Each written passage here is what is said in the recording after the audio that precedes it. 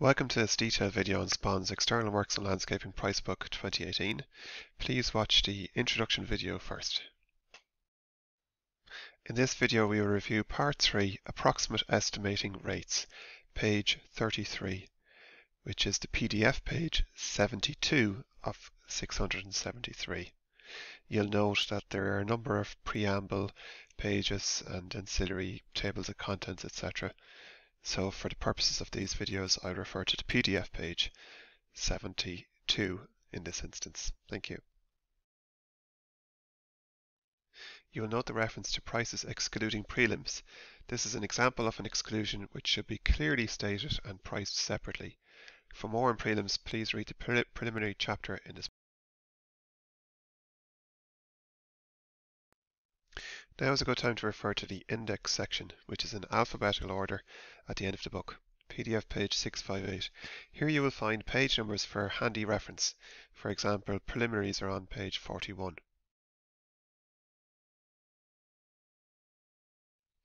Back to page 33, PDF page 72 for part 3, approximate estimating rates.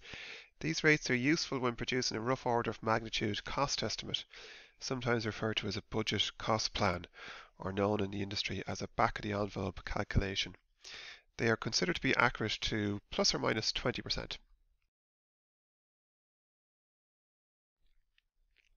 By now you should be familiar with the concept of overheads, which were introduced in the chapter on labour rates. This chapter refers to labour costs including overhead and has a separate markup percentage adjustment for profit levels. For the UK market in 2018, profit levels in this sector have been recorded as approximately 10 to 15%. The figure of 15% is used in the example on this page. This will allow quantity surveyors, contractors and estimators to adjust rates depending on their profit expectations. For the remainder of Part 3, approximate estimating rates, the value in the range column will include overheads and profit.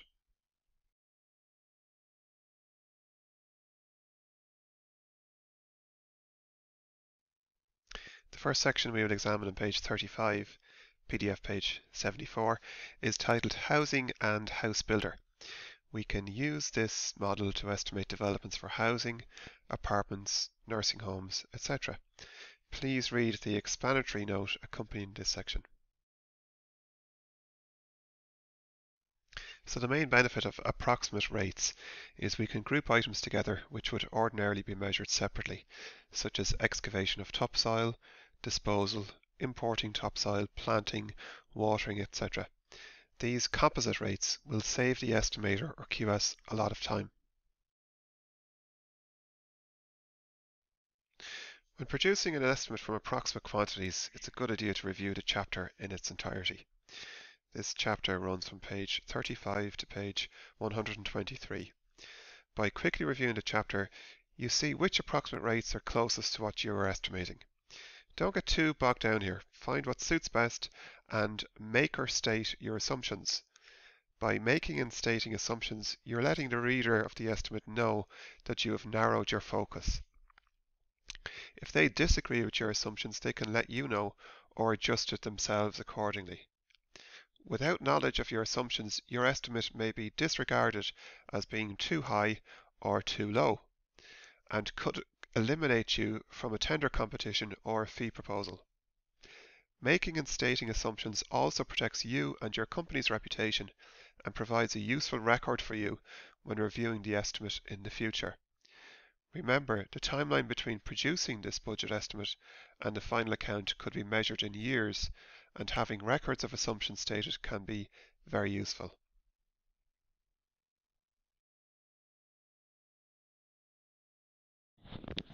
An example of an assumption can be found on page 48 under the Clearing Surfaces, Demolish Existing Surfaces heading. Imagine you've been asked to put together an estimate for site clearance for a nursing home.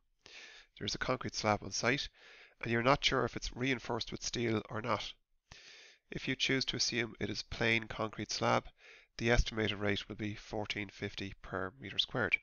But if you choose to assume it is reinforced concrete slab, that is reinforced with steel, the rate would be 20 per meter squared or almost 40% more expensive. This could have implications for your tender or cost estimate. Being decisive, making an assumption and stating that in that section of the estimate, that assumption, can protect you in the future. I find it's useful to state the assumptions in an additional comment column as you are progressing and to summarize them at the bottom of the document.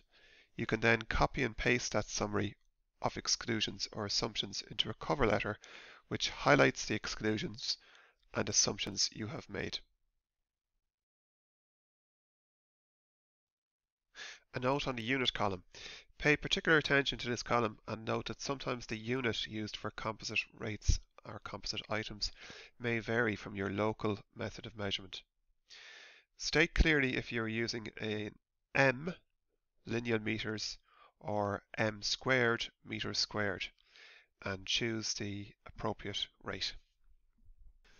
You'll note that some of the descriptions include PC or prime cost sums for materials. For example, bricks vary PC sums from 400 to 800 pounds per thousand bricks. This is to allow for different levels of finishes and can also be used to allow the client to make savings or value engineer details down the road. When using these PC sums, you should always state the value per unit and the total value of PC sums included.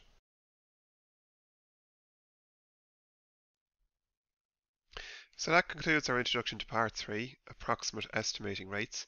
Stay tuned for the next installation in the series, introduction to part 4, prices for measured works.